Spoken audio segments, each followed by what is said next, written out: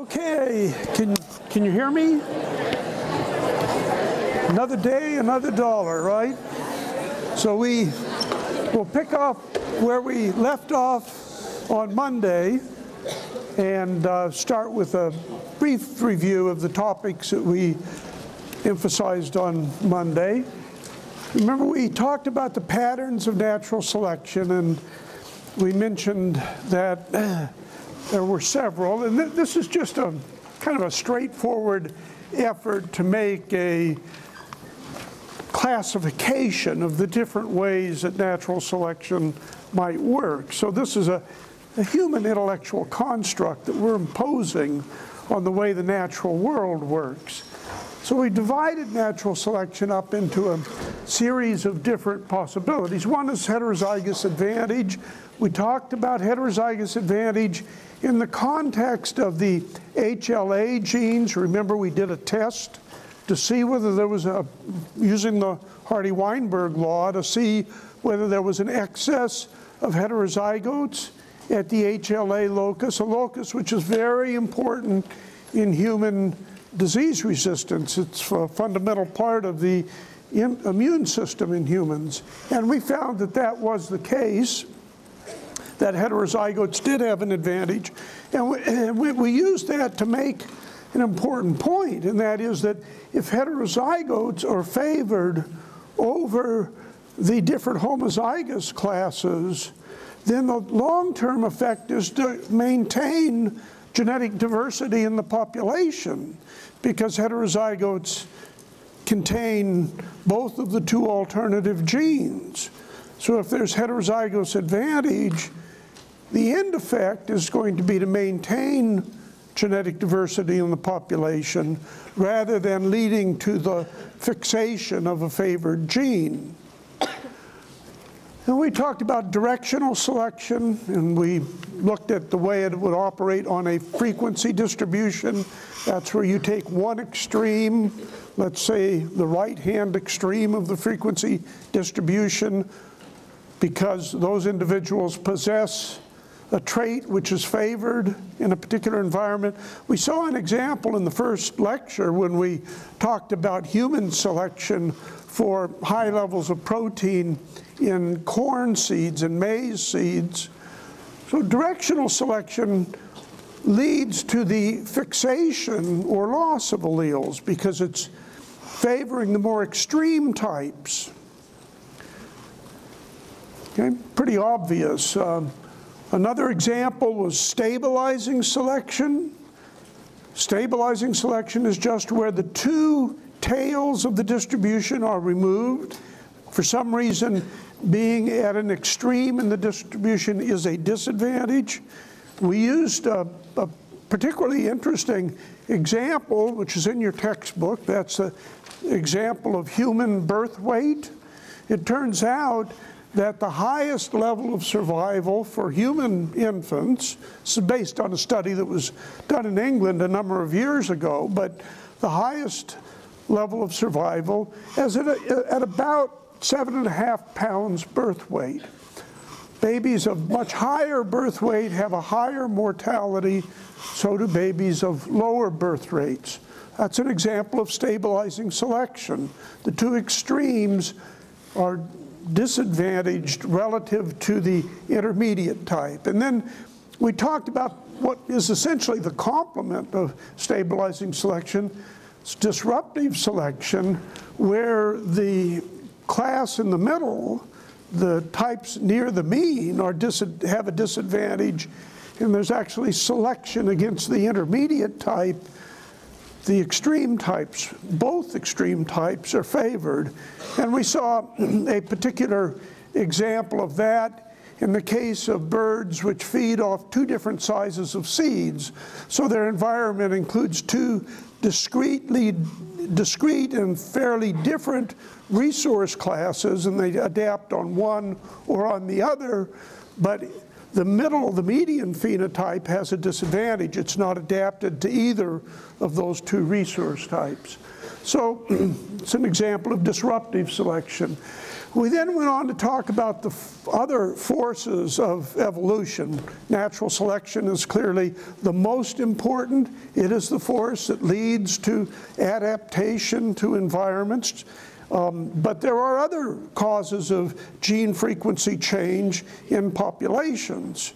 And by the way, we introduced uh, allele frequency change as the fundamental definition of evolution. Simply changes in the frequency of heritable material over time, regardless of whether it's adaptive. So aside from natural selection, there is genetic random drift, and we discussed genetic random drift. It's just the random sampling of genes to transmit to the next generation. We talked about migration of genes between populations. if we have two populations which are different, and genetic migration occurs between them, it will make them more similar. So it leads to changes in gene frequencies in both of the recipient populations. And finally, uh, we talked, well, on, under, let me just go back to genetic random drift. We talked about two special cases of genetic random drift. One is a founder effect, and we use the example of the mutineers from the Bounty who colonized Pitcairn Island in the Pacific, which otherwise was not inhabited. And this small founder group, by virtue of simply being a small sample of the original population, deviated to some extent genetically from the parent populations. We also talked about bottleneck effects. A bottleneck is simply what the name implies. It's where the population size goes through a constriction. And as an example, I talked about the impact of the bubonic plague on Europe that restricted the population size. We talked about the most, the most serious, devastating episode of the plague was in the period uh, around 1348, 1349, when roughly half the population of France perished. Big collapse in population size. I mentioned that it took about 150 years for the population to grow back to the size it had been prior to the plague epidemic. But something that restricts population size makes the drift effect larger, so a population bottleneck will enhance the drift effect. I also mentioned that humans actually are believed to have gone through a substantial population bottleneck early after the colonization of, of Europe and Asia. And it's not clear what the causes were, but we can use genetic techniques to calculate backwards and ask what the population size might have been at its minimum. And the global population at its minimum for humans was probably around 10,000. And even though this occurred perhaps 50,000 years ago, the genetic signature is still with us, and humans actually do not have as much genetic variation as many other species because we went through this extreme bottleneck early in the history of the human species. Again, we talked about gene flow. Finally, we talked about mutation, the ultimate source of all genetic variation. New genes have to arise by mutation. And there are lots of different kinds of mutation. The most common one we think about is where one base in the nucleotide sequence is replaced by a different one, a C for a T, A for a G. But there are also bigger mutations. There are mutations where whole genes are deleted or duplicated. There are mutations where transposable elements, pieces of DNA which are capable of jumping to different locations, insert in a gene and disrupt it. So there are many different kinds of mutations. We're going to talk later in this lecture about a specific kind of mutation which causes the doubling of the entire genome in the context of what's called polyploidy. So, the mutation is the ultimate source of all genetic variation. So today we're going to pick up on the themes that we've developed so far. We're going to talk about non-random mating. You know, we emphasized random mating and the fact that the Hardy-Weinberg law, which can be deduced for random mating and tells us what the genotype frequencies will be, is really important for two reasons. The first is that it proves that gene frequencies do not change under random mating, and therefore mating, the way mating system is not an evolutionary force. The other thing it proved was that there's a conservation of genetic variants. Now we're going to look at a couple of exceptions. One exception is inbreeding. We're, we're going to consider the situation of inbreeding, and then we're going to consider uh, a different exception, which is called sexual selection. So we're going to relax this random mating assumption and ask what happens if we allow for other possibilities in the world of evolution. Well, what is inbreeding? Inbreeding is simply where individuals mate who are more related than would be the case in a genetic sense, a genealogical, in a family sense, more related than would be the case if we drew mates randomly from the population. And inbreeding occurs in human populations. Uh, typically, the sort of most extreme level of inbreeding in human populations is first cousin matings, but they're not uncommon in some cultures. Um, the, it, a very extreme example in human history is that the Egyptian royalty practiced brother-sister mating, which is a very extreme form of inbreeding. And so we'll see what the consequences of inbreeding are. But let me just say at the outset that what we're going to discover is that inbreeding by itself does not change gene frequencies. So it's not going to cause by itself an evolutionary change. So that's a key fact. What inbreeding does do is change the distribution of genotype frequencies. And to see that, we're going to consider a simple example. It is the most extreme form of inbreeding, and that's self-fertilization.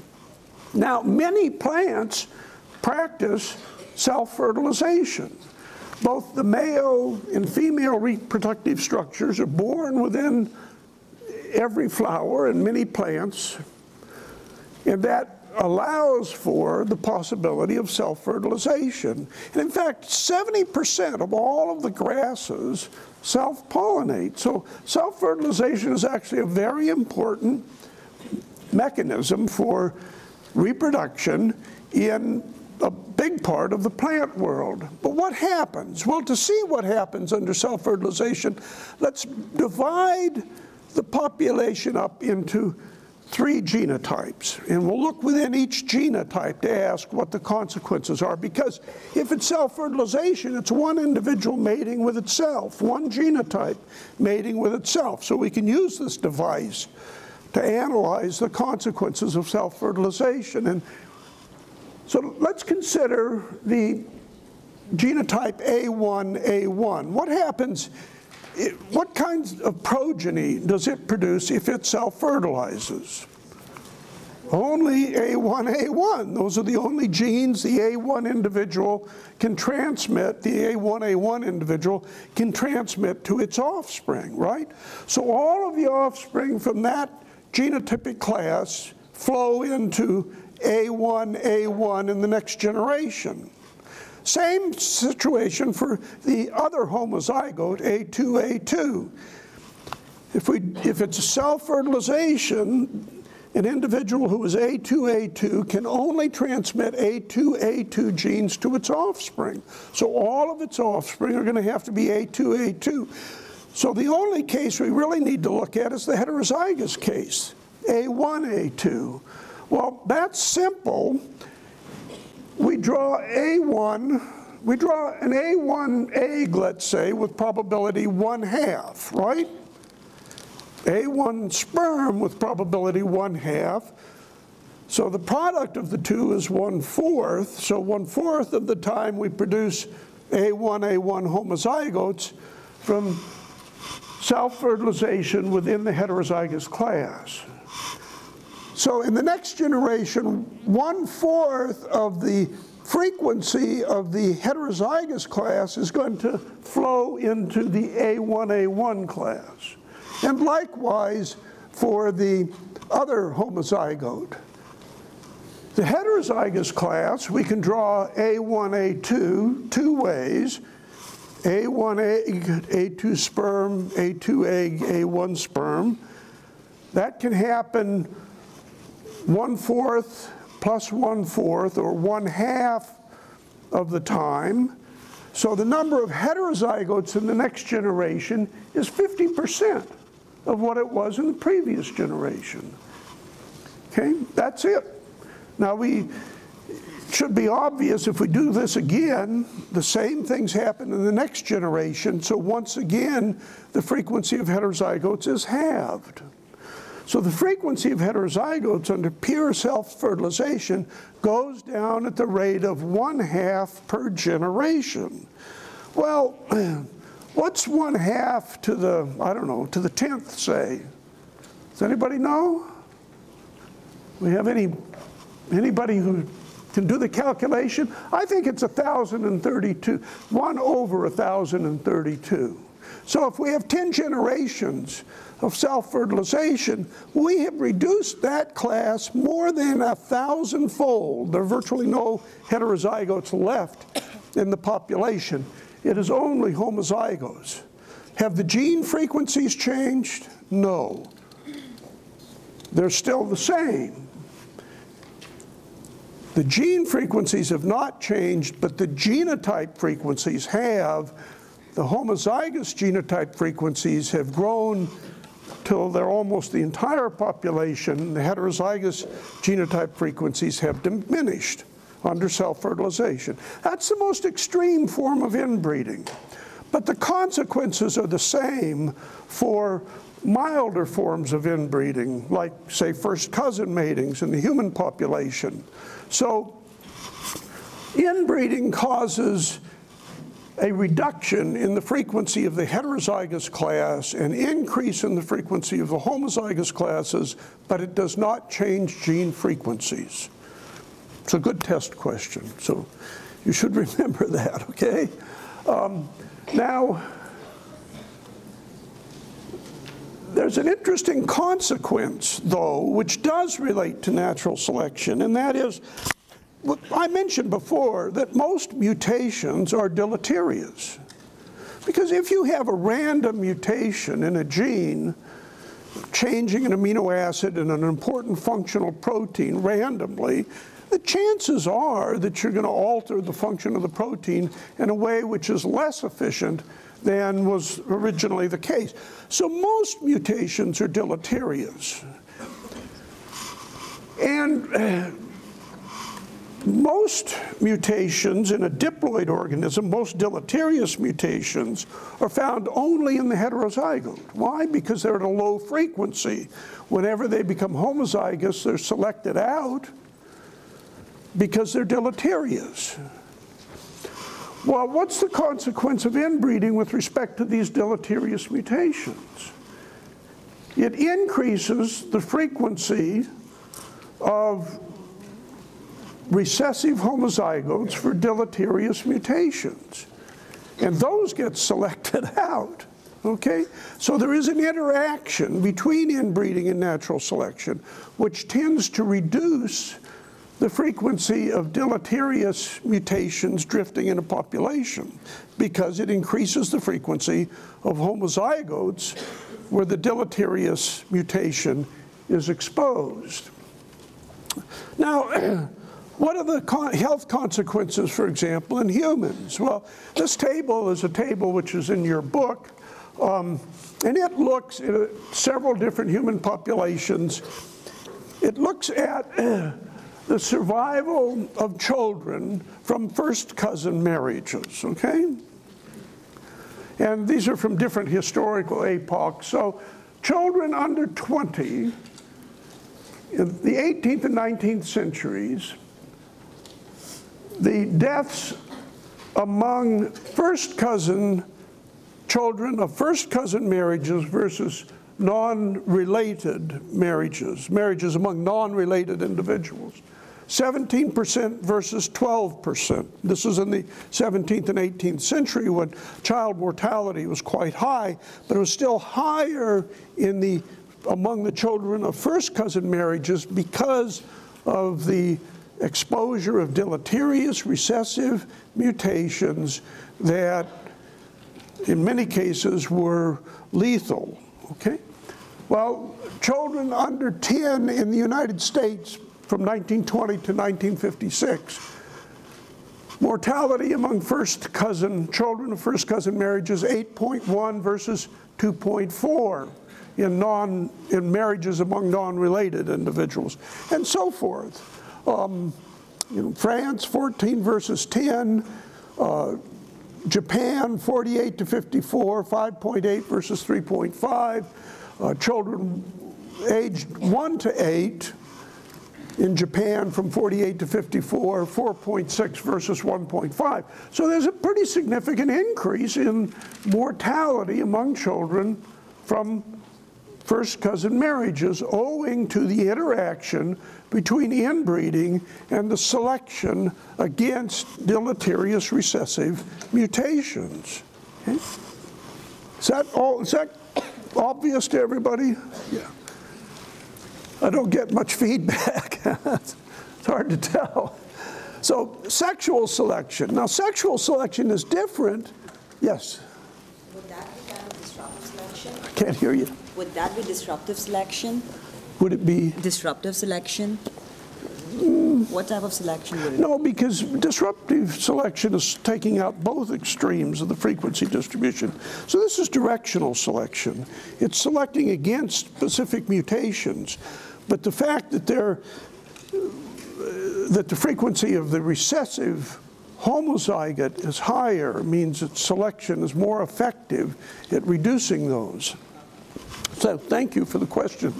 Um, so sexual selection. Now the difference with sexual selection is that it, it can change gene frequencies. And there's, what is sexual selection? Well, sexual selection is when individuals with particular heritable traits have a greater advantage in obtaining mates, okay?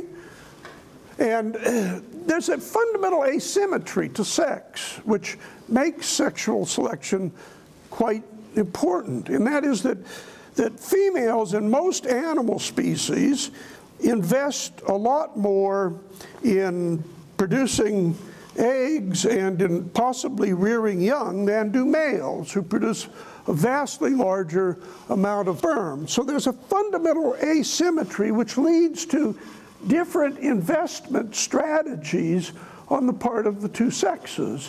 For, for females, it's Im important to select males who have who are of high genetic quality if they can do that, so that the offspring that they invest time in caring for have the best opportunity of surviving because the male parent was good. So that's a female choice. There's, there's another consequence, and that is that for males, um, the strategy is to compete for mates.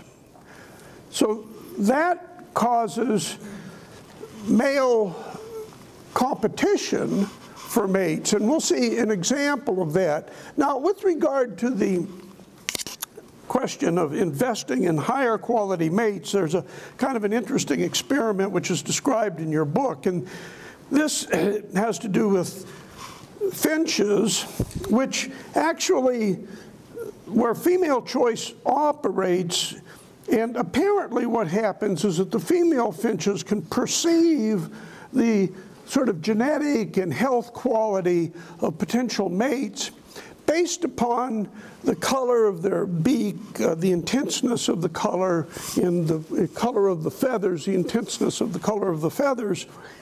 a healthy male, which has had a good diet, has ha- usually had a diet which is high in carotenoids. Okay, carotenoids have an orangish pigment, and that actually the carotenoids in the diet affect the pigmentation of the feathers in the beak.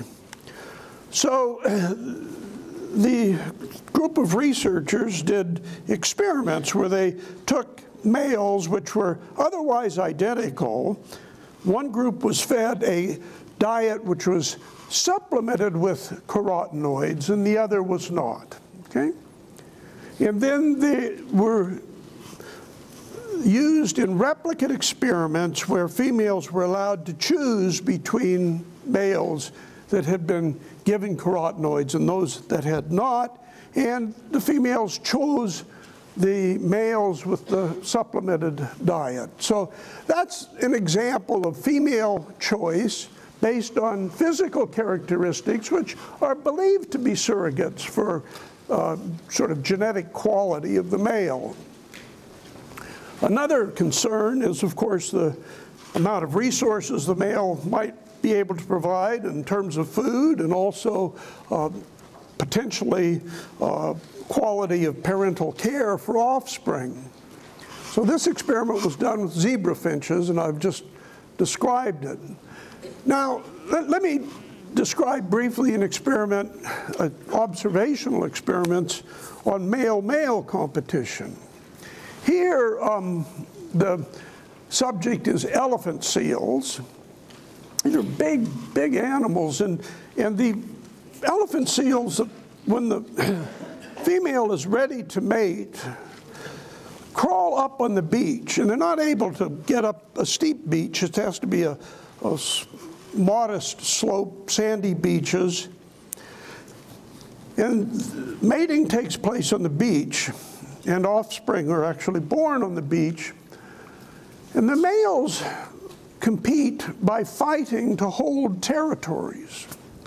So uh, a male who is large and aggressive and can beat the other males can hold a larger territory and therefore uh, can mate with a larger number of females on these restricted beaches which don't have a lot of space. So this is male-male competition for mates based upon territory. And here's a picture of two of the male elephant seals. They actually hit each other and bite each other. Um, size matters. The bigger you are, the more likely you are to win. And as a consequence, secondary sexual characteristics in males that favor being large and effective in this aggressive display are favored by natural selection. And the males are actually, because of this, they're four times larger than the, than the females. And some of them weigh as much as 27, 270 kilograms, I guess, more than almost, almost a thousand pounds. These are really large animals, four times as large as the females. Now you can ask, well, what's the variation of reproductive success of in males? And that's plotted here. The x-axis shows the number of offspring. This is the frequency distribution by male. So you see most males are in the zero class. They don't produce any offspring at all. And then there's just a small number of males way out at the right-hand end of the distribution who are producing most of the offspring for the next generation.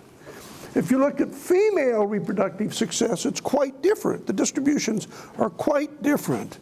All right, so this is another form of sexual selection. Now, the thing that's um, the thing that's important is that this is a form of selection. It changes gene frequencies, favors the evolution of larger, more aggressive males. But there's another consequence that you might think about, uh, which is not mentioned in your book, and that is that if almost all of the next generation is fathered by just a handful of males, which is what this suggests, what does that mean for genetic drift? means that genetic drift should be more important because you're sampling genes from a very small subset of the male population to transmit it to the next generation. So this also has a consequence in terms of genetic drift. So what are the consequences of sexual selection? Well, I've just mentioned them. Sexual dimorphism, that is uh, the emphasis of traits which differ between the two sexes. Another you know, great example is the peacock with its wonderful display. Good example of sexual selection, in this case, female choice. Uh, so sexual dimorphisms that differ between males and females. And the second important consequence is it violates the assumptions of the Hardy-Weinberg law. It is a form of natural selection and leads to the increase or decrease of, of alleles in populations. So that's sexual selection. Now, now we're going to turn to um, a different topic, and that's the topic of speciation. So, so far we've talked about the mechanisms of evolution, but we have not talked about how species arise. And one of the ironies of uh, Darwin's book, which was published in 1859, and in fact, the, it was amazing, the book sold out, the entire first printing sold out on the day it appeared because the world was ready for these ideas at, at, that time. But the title of the book was on was Origin of Species. And yet the book doesn't really talk about origin of species. It talks about natural selection. Now, natural selection is the mechanism behind the origin of species, but Darwin really didn't focus on that connection. He focused on the fact that he was presenting a mechanism for evolutionary change and adaptation through time. So we're going to ask how do species actually arise? Now, maybe the first thing we ought to ask is, is the idea of species a reasonable one? Is this just a, a human construct that we've imposed on the outside world because it's convenient for us to classify things? Well, that's certainly a possibility, but if, if we take different forms of life and we, we measure each populations of each forms, and then we, we plot those on some sort of a multidimensional graph, we see that we end up with groups of clusters. There are, all humans are similar, okay? And they're different in very distinctive ways from other animals, even from ones that they're closely related to, like chimpanzees. We have no trouble distinguishing humans from chimpanzees. We're different in a wide variety of morphological traits. So there seems to be an objective reality behind the idea of a species. But we want to get at the sort of underlying bases for that reality in this lecture. But before I do that, I'd just like to say you, you probably learned in high school biology that there are other higher levels of classification. In fact, when I was a student, there was a little litany you had to learn. It was phylum, class, order, family, genus, species. And uh, now we have domain on top of that. So domain, phylum, class, order, family, genus, species. It turns out that the only one of that hierarchy of classifications that we can really define objectively in, in genetic terms is species. Now, we'll look later in the course when we look at the things that distinguish the major steps in the evolution of plants and animals at some of these big characteristics. But, but the difference between a family and an order is arbitrary. That's not really true for species. So why is that? How do we define species? Well, fundamentally, populations become two different species and therefore evolutionarily independent entities when they are no longer able to exchange genes.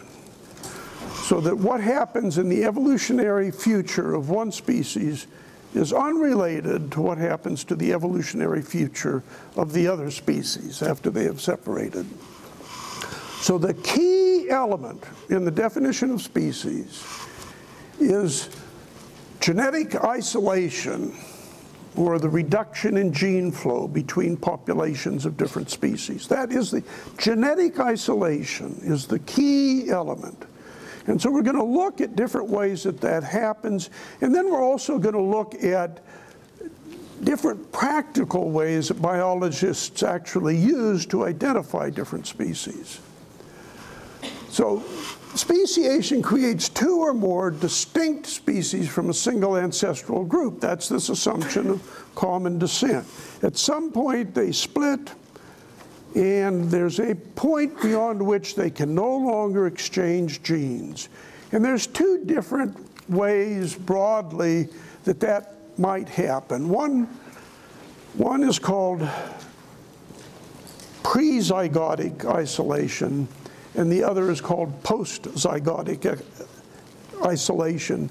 And I'll come to those again in a moment, but this picture just taken from your book illustrates the morphological differences between two different populations of medium ground finch found in the Galapagos Islands on different islands.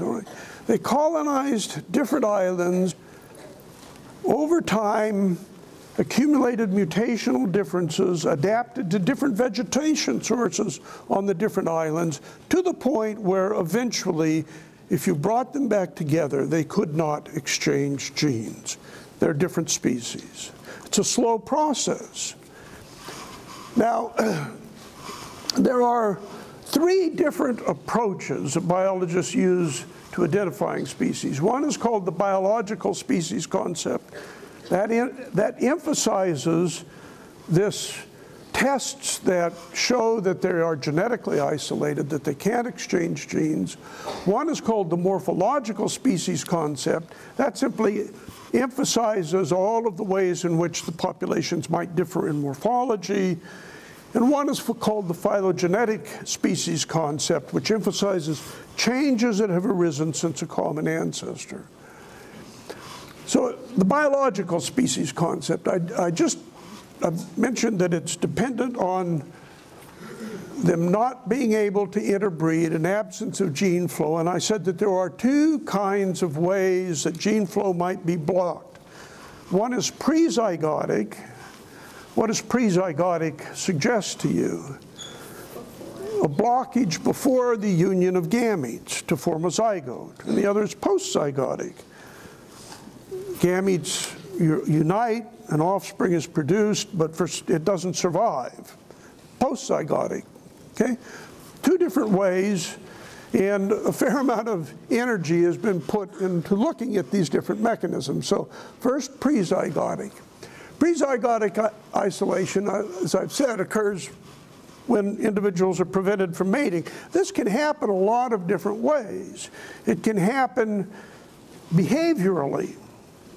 It may be that, that the behavioral differences, and we see this a lot in insects, for example, have evolved differently between the two populations that prevents intermating. It may be that um, they become reproductively active at different times of day, even though they're in the same space. That's a prezygotic isolating mechanism. Postzygotic They've mated, but the hybrid offspring have low fitness. Now, a big problem with the biological species concept is that this, these ideas are fine, but they're difficult to operationalize. In most cases, it's hard to do the tests and see whether they're actually, whether there is a prezygotic or a postzygotic barrier to genetic exchange or not. And it's impossible almost, although we'll look at an exception, it's almost impossible to do this for fossils or for asexual organisms.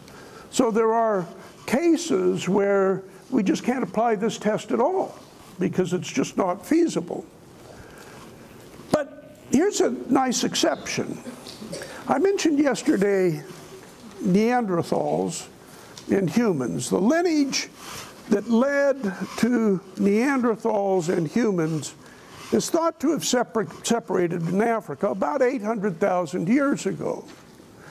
Neanderthals, the populations migrated northwards and arrived in Europe. The distribution is shown here, uh, and, and parts of the Middle East and South Asia somewhere between 350 and 600,000 years ago. We don't know precisely because there have been several intervening episodes of glaciation which have destroyed much of what would have been the fossil record. So, but, but certainly by 300,000 years ago, Neanderthals were in Europe and parts of Asia. And that was before modern Homo sapiens had actually emerged in southern Africa. The last Neanderthal settlements that we know of were about 25,000 years ago around Gibraltar. Something happened and the Neanderthals population moved towards extinction and it became extinct about 25,000 years ago. So here's an extinct case. Now, were Neanderthals a different species from humans? Well, it based on what I told you in the last lecture, we can actually do the test because it's now possible to get from the rare Neanderthal remains that we're able to look at some fragments of DNA, and it has been possible to sequence the whole Neanderthal genome in several cases, not just one. And of course, we've got now many sequences of the human genome, and so we can ask are there Neanderthal genes in the human genome? And the answer is yes, about 1 to 4% of our genes, particularly those of us who have a European ancestry, are Neanderthal. Pretty amazing. So here, what would you say? Would you say Neanderthals were a different species or a subspecies of Homo sapiens? Well, it looks like they could interbreed. So by the biological species concept, we would have to say that Neanderthals were a subspecies of Homo, not a different species, right? And so this is kind of an interesting exercise in applying this biological species concept. What about the morphospecies concept? Well, let me just go back and look at Neanderthals again. This panel on the left actually shows the, a, a reconstruction of a Neanderthal individual by an artist, a forensic artist, but the, one of the things that is of interest is how did the Neanderthals differ from humans? Well, eh, from Homo sapiens, sapiens, us. And they differed in a number of ways. They had bigger chests, rounder body, shorter legs, very much, they were stronger. They had a larger cranium and probably a larger brain than modern humans. The bigger body size and shorter appendages was probably an adaptation to cold because they lived through these glacial periods in northern climates. And it may have been the onset of warmer periods that helped lead to their extinction, although another hypothesis is that their cousins, Homo sapiens sapiens, helped wipe them out as well, and we don't really know what the truth is.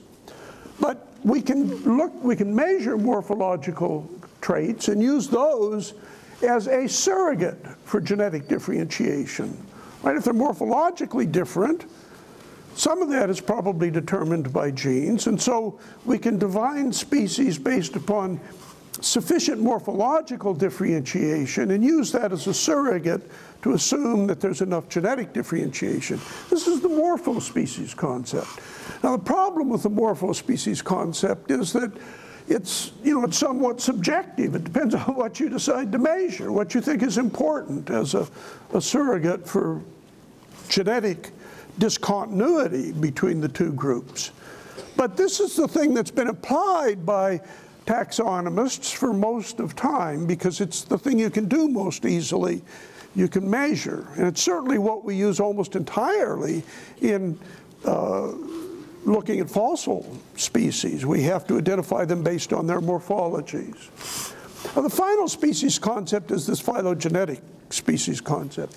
And this is a more contemporary idea. It's based on the idea that um, we can reconstruct the evolutionary history of populations based on some sort of differences, nowadays frequently DNA-based differences.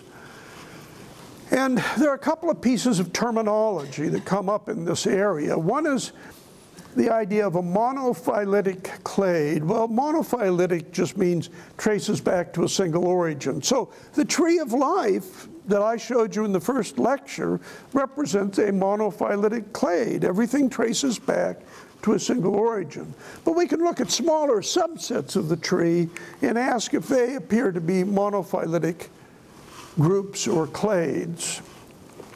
And an example from your book is actually elephants. It turns out there's three species of elephants.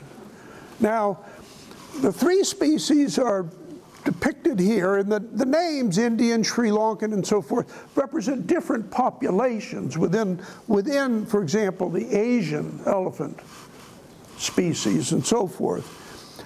If we look at all three species, they form a monophyletic clade, as illustrated by the top panel. But there are distinct mutations that distinguish the African savanna elephant and the African forest elephant from the Asian elephant and group them more closely together than the Asian elephant. So they also are a monophyletic clade, okay? What is a species? A species is then just the smallest monophyletic clade on the tree. That's the definition of a species in this phylogenetic species concept. It's the smallest monophyletic group on the tree. Well, what's the problem with this method? Well, one problem is we don't have um, DNA sequences or other good measures from most species on Earth. So it's a conceptual idea, but not one we can apply in all cases, although we're getting more and more data, and it will be easier and easier to apply it as time goes on. Subspecies. Well, we talked about subspecies when we talked about Neanderthals and humans. These are populations that might live in discrete geographic areas and they have their own identifying characteristics, bigger cranium, but um, they're not distinct enough to be separate species. Gene flow is possible, as we saw, between Homo sapiens sapiens and Neanderthals. And there's an example of subspecies uh, in the textbook uh, the seaside sparrow that lives along the Atlantic and Gulf coasts, and these are physically isolated from one another. And there was a lot of concern about the conservation of one of the six seaside, dusky seaside sparrows because it was going extinct. In fact, it got down to just six individuals um, who all were males, so the population was effectively at an end. Now, why would you worry about a subspecies? Well, in this case, one reason is that the Endangered Species Act actually mandates the a whole set of actions if a subspecies of a vertebrate animal is threatened. And so there was an effort to ask, are these really different? And that work was actually done by a guy here at, at UCI, John Avise, who's a, a great scientist, and he looked at the DNA characteristics of the different species of seaside sparrows.